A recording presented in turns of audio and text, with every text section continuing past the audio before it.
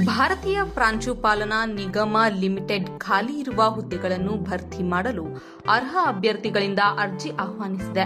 ಒಟ್ಟು ಎರಡು ಸಾವಿರದ ಏಳ್ನೂರ ಐವತ್ತು ಪಶು ಸರ್ವೆಂಟ್ ಪಶು ಬ್ರೀಡಿಂಗ್ ಅಸಿಸ್ಟೆಂಟ್ ಹುದ್ದೆಗಳು ಖಾಲಿ ಇವೆ. ಕೇಂದ್ರ ಸರ್ಕಾರದ ಉದ್ಯೋಗ ಅರಸುತ್ತಿರುವವರು ಈ ಕೂಡಲೇ ಅರ್ಜಿ ಹಾಕಿ, ಆಗಸ್ಟ್ ಐದು, ಎರಡು ಸಾವಿರದ ಇಪ್ಪತ್ನಾಲ್ಕು ಅರ್ಜಿ ಸಲ್ಲಿಸಲು ಕೊನೆಯ ದಿನಾಂಕವಾಗಿದೆ.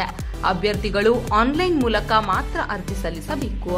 ಅರ್ಜಿ ಸಲ್ಲಿಸುವ ಮುನ್ನ ಹುದ್ದೆಯ ಕುರಿತಾಗಿ ಮಾಹಿತಿ, ವಿದ್ಯಾರ್ಹತೆ, ಸಂಬಳ, ವಯೋಮತಿ, ಅರ್ಜಿ ಶುಲ್ಕ, ಆಯ್ಕೆ ಪ್ರಕ್ರಿಯೆ ಕುರಿತಾಗಿ ತಿಳಿಯುವುದು ಬಹಳ ಮುಖ್ಯ. ಈ ಎಲ್ಲದರ ಕುರಿತಾಗಿ ಮಾಹಿತಿ ಇಲ್ಲಿದೆ.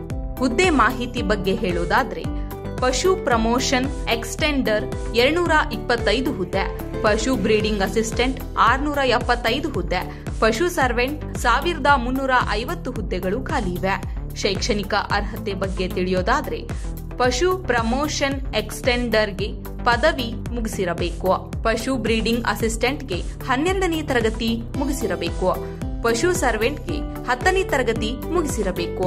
ವೇತನದ ಬಗ್ಗೆ ಗಮನ ಹರಿಸೋದಾದ್ರೆ, ಪಶು ಪ್ರಮೋಷನ್ ಎಕ್ಸ್ಟೆಂಡರ್ಗೆ ಮಾಸಿಕವಾಗಿ ಇಪ್ಪತ್ತಾರು ಸಾವಿರ ರು, ಪಶು ಬ್ರೀಡಿಂಗ್ ಅಸಿಸ್ಟೆಂಟ್ಗೆ ಮಾಸಿಕವಾಗಿ ಇಪ್ಪತ್ಮೂರು ಸಾವಿರ ರು ಪಶು ಸರ್ವೆಂಟ್ಗೆ ಮಾಸಿಕವಾಗಿ ಹದಿನೆಂಟು ಸಾವಿರ ರುವನ್ನು ನಿಗದಿ ಮಾಡಲಾಗಿದೆ. ಅಭ್ಯರ್ಥಿಗಳ ವಯೋಮತಿಯ ಮಾಹಿತಿ ತಿಳಿಯೋದಾದ್ರೆ ಪಶು ಪ್ರಮೋಷನ್ ಎಕ್ಸ್ಟೆಂಡರ್ಗೆ ಇಪ್ಪತ್ತೈದರಿಂದ ನಲವತ್ತೈದು ವರ್ಷ ಮೀರಿರಬಾರದು. ಪಶು ಬ್ರೀಡಿಂಗ್ ಅಸಿಸ್ಟೆಂಟ್ಗೆ ಇಪ್ಪತ್ತೊಂದು ವರ್ಷದಿಂದ ನಲವತ್ತು ವರ್ಷ ಮೀರಿರಬಾರದು. ಪಶು ಸರ್ವೆಂಟ್ಗೆ ಹದಿನೆಂಟು ವರ್ಷದಿಂದ ನಲವತ್ತು ವರ್ಷ ಮೀರಿರಬಾರದು. ಮೀಸಲಾತಿ ಅನುಸಾರ ಅಭ್ಯರ್ಥಿಗಳಿಗೆ ವಯೋಮಿತಿ ಸಡಿಲಿಕೆ ನೀಡಲಾಗುತ್ತದೆ. ಉದ್ಯೋಗ ಸ್ಥಳ ಭಾರತದಲ್ಲಿ ಎಲ್ಲಿ ಬೇಕಾದರೂ ಮಾಡಬಹುದಾಗಿದೆ. ಅಭ್ಯರ್ಥಿಗಳ ಅರ್ಜಿ ಶುಲ್ಕ. ಪಶು ಪ್ರಮೋಷನ್ ಎಕ್ಸ್ಟೆಂಡರ್ಗೆ ಒಂಬೈನೂರ ನಲವತ್ನಾಲ್ಕು ರೂಪಾಯಿ. ಪಶು ಬ್ರೀಡಿಂಗ್ ಅಸಿಸ್ಟೆಂಟ್ಗೆ ಎಂಟುನೂರ ಇಪ್ಪತ್ತಾರು ರೂಪಾಯಿ. ಪಶು ಸರ್ವೆಂಟ್ಗೆ ಏಳ್ನೂರ ಎಂಟು ರೂಪಾಯಿ. ಪಾವತಿ ವಿಧಾನ ಆನ್ಲೈನ್ ಮೂಲಕ ಆಗಿದೆ. ಆಯ್ಕೆಯ ಪ್ರಕ್ರಿಯೆಯನ್ನು ಆನ್ಲೈನ್ನಲ್ಲಿ ಟೆಸ್ಟ್ ನಡೆಸಿ ಸಂದರ್ಶನ ತೆಗೆದುಕೊಳ್ಳುವ ಮೂಲಕ ನಡೆಸಲಾಗುತ್ತದೆ.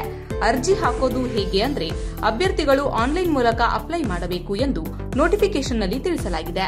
ಪ್ರಮುಖ ದಿನಾಂಕಗಳು ಅರ್ಜಿ ಸಲ್ಲಿಸಲು ಆರಂಭ ದಿನಾಂಕ ಇಪ್ಪತ್ತಾರು ಜುಲೈ ಎರಡು ಸಾವಿರದ ಇಪ್ಪತ್ನಾಲ್ಕು ಆದರೆ ಅರ್ಜಿ ಸಲ್ಲಿಸಲು ಕೊನೆಯ ದಿನಾಂಕ ಆಗಸ್ಟ್ ಐದು ಎರಡು ಸಾವಿರದ ಇಪ್ಪತ್ನಾಲ್ಕು ಆಗಿದೆ.